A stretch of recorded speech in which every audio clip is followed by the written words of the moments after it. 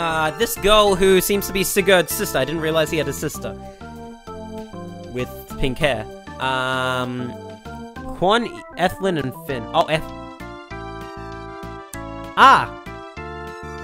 I know Ethlyn, which is this girl, I think, because one of my friends has, I think, his pinned tweet. Let me check.